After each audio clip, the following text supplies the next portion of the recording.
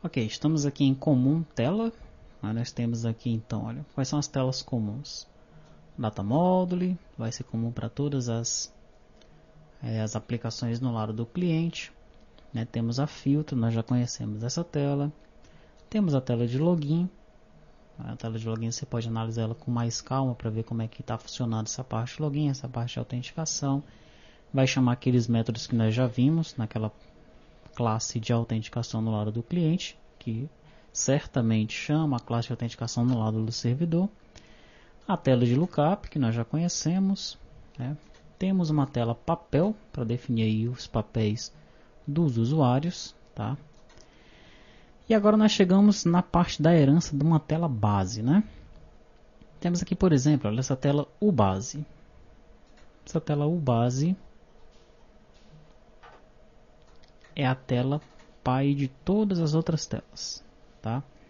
O que é que nós vamos ter nessa tela aqui? Ela herda de tform, ela tem um get sessão usuário, tem um get custom key preview, tem a sessão, uma propriedade chamada sessão. Nós temos aqui um procedimento ícone botão, né? esse ícone botão é um procedimento que está sobrecarregado. Temos o procedimento fechou o usuário, o tem acesso e o verifica permissões, tá? O que é que faz o fecho formulário? Ele chama o método fmenu fechar a página, né, passando aí o formulário como parâmetro, tá certo? Para que não exista erro nenhum, a gente fecha a página através do fmenu, porque o fmenu que cria o formulário e coloca o anexo ao formulário dentro daquela aba, tá? No form create nós verificamos as permissões. O que é que faz esse método verifica permissões? Esse método verifica permissões, ele trabalha com RTTI e é ele quem vai habilitar ou desabilitar todas as actions. Tá ok? Então aqui a gente vai verificar, olha, quando nós estivermos pegando todos os campos de determinado formulário, nós verificamos se é um componente depois se esse componente se é um objeto, depois se esse objeto é do tipo tComponent, tá? Daí nós chamamos o método tem acesso passando o nome desse objeto, ok? O método tem acesso, onde é que ele está? ícone botão, ícone botão, seção usuário. Aqui, ó, o método tem acesso, ele vai chamar então o método tem acesso lá de seção, né? Passando o nome da classe, no caso aí o nome do formulário vai ter, por exemplo, tf banco, tá? E a função do objeto, no caso vai ser aí action, consultar, action, inserir, ok? E aí se aquele usuário ele tem acesso a isso daí lá no banco de dados, né? Porque esse tem acesso vai perguntar isso lá para o servidor. Se ele tiver acesso àquela action, ela vai ficar habilitada. Se não, aquela action não vai ficar habilitada. Veja que isso vai funcionar para todos os formulários, desde o F-menu até todos os formulários da aplicação. Por quê? Porque esse é o meu formulário base. Né? Os formulários, todos os meus formulários, eles vão herdar desse formulário aqui, tá? Perfeito. E eu tenho aqui então, olha, o ícone botão. Né? Esse método é o que vai definir quem é, é qual é o glyph para aquele meu botão, qual vai ser o ícone que vai aparecer naquele meu botãozinho que fica ali na aba, tá bom? Tranquilo. Depois do base, quem é que nós temos aqui? Será que é o, o tela? O tela herda de quem? Vamos observar. Exatamente, olha. O ftela herda de fbase, tá? Então, abaixo de fbase nós temos um formulário ftela, tá? Nesse ftela nós já vamos ter aqui, olha, o painel da grid, vamos ter a grid, vamos ter o painel do filtro rápido, vamos ter um page control, vamos ter a página da grid, tá? Vamos ter um pop-up do exportar, né? Daí nós temos as opções de exportação já aqui.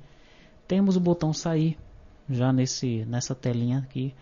Temos o painel de navegação, temos aqueles botões das páginas, né? Página anterior, página própria, página próxima, primeiro, último é o botão exportar, o botão imprimir, tá? Mas o botão inserir tá aqui? Não. o botão salvar, o botão excluir, não está aqui ainda não, tá? Aqui nós temos aqueles botões que são comuns para todas as telas, né?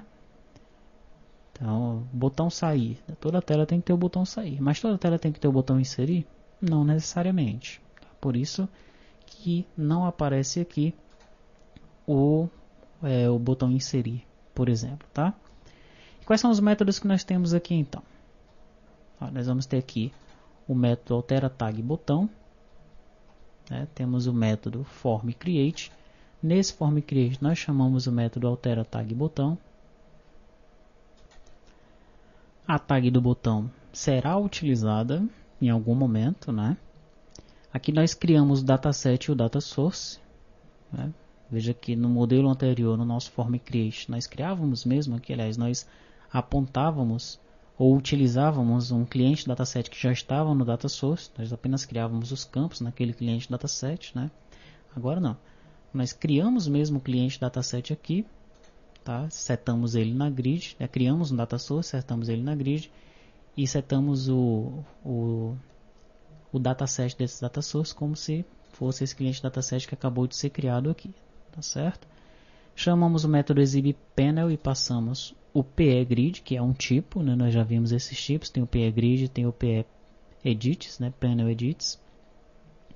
Daí nós chamamos o método ícone botão, passando o botão sair com o esse i sair, o SI habilitado e o TI 16, que são os tipos que nós estamos passando para ele, né?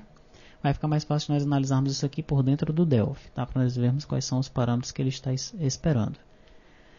Setamos a propriedade flat dos botões, né, do botão exportar e imprimir, do botão sair, e também dos botões aqui de navegação.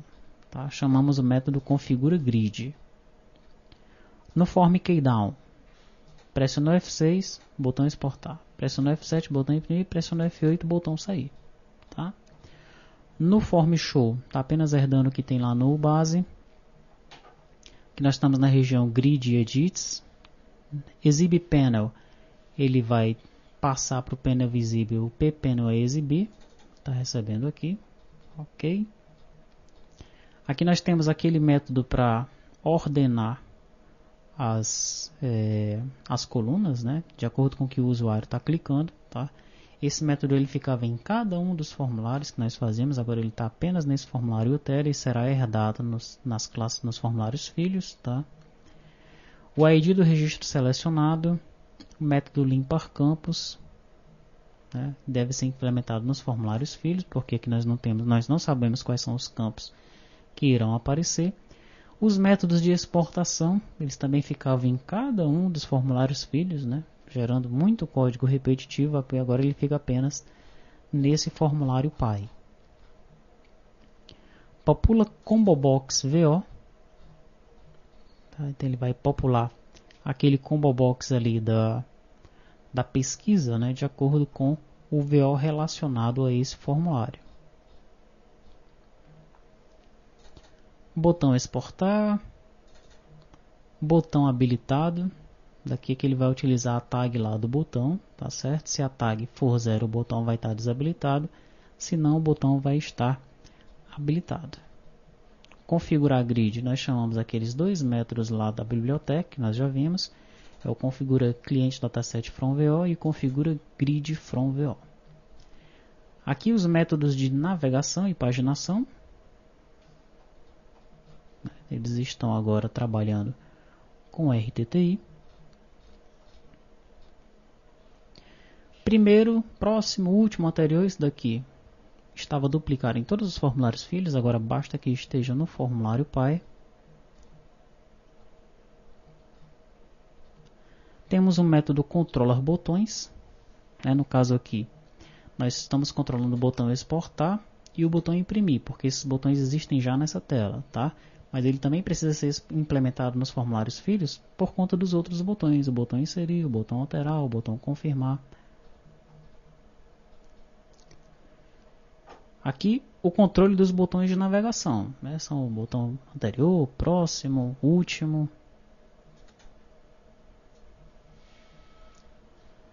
E temos aqui o controle de botões de navegação de página. né, que seria a página anterior, e a próxima página são aqueles dois botões que ficam na extremidade daquela nossa barra de navegação.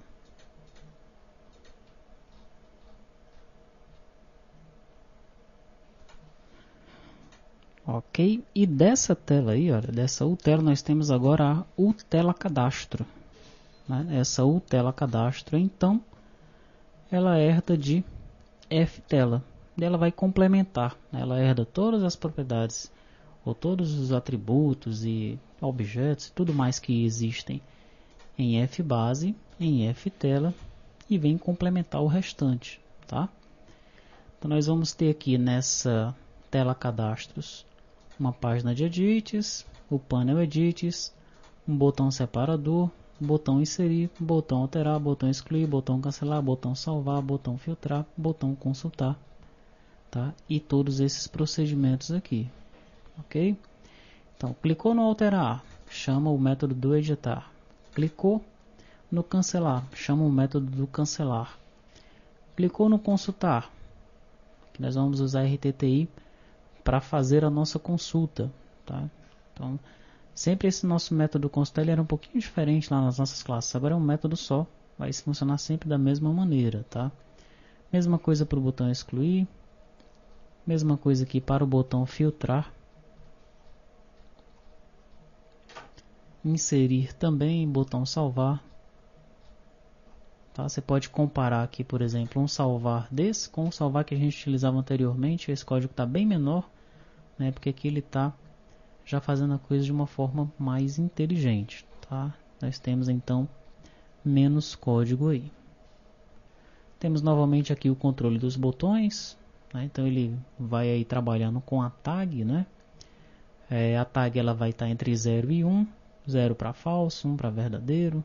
Então aqui se o grid não tiver vazio, então ele vai passar essa tag para nova tag. Daí ele faz a comparação aqui, se a nova tag é diferente da tag, atribui a nova tag aí a tag daquele botão e chama lá o método ícone botão passando todos esses parâmetros aí, tá?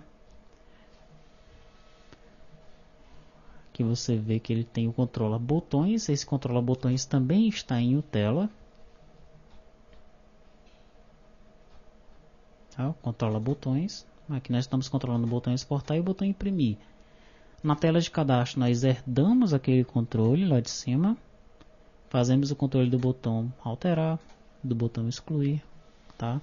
Aqui o controle dos botões de navegação. Navegação da página. Os controles do CRUD aí são aqueles métodos, né? o do inserir, do editar, do excluir, do cancelar, do salvar é, aqui quando o usuário ele é, entra no edit critério rápido, nós passamos aqui um false para o custom key preview. Esse aqui é para desabilitar o método key preview ou a propriedade key preview lá do formulário principal. Então, nesse momento, quando você estiver ali no edit critério rápido, as teclas de função do formulário principal não vão funcionar. Tá? Vão funcionar apenas a, ou qualquer tipo de tecla lá, né? qualquer tipo de o que tiver é, implementado para ser utilizado no OnKeyDAO ou no OnKeyPress lá do formulário principal não vai funcionar, porque nós passamos aqui um false para esse custom key preview, key preview. E ao sair do edit critério é, rápido, nós habilitamos novamente aí o key preview do formulário principal, que é o F-menu, tá? Exibe panel, form create, Aqui no Form Create nós temos o status da tela, nós colocamos para navegando na grid, setamos todos os flats dos botões e aí é, chamamos o método ícone botão para cada um desses botões aí. Inserir, salvar, cancelar, consultar e filtrar com as determinados os devidos parâmetros, tá certo?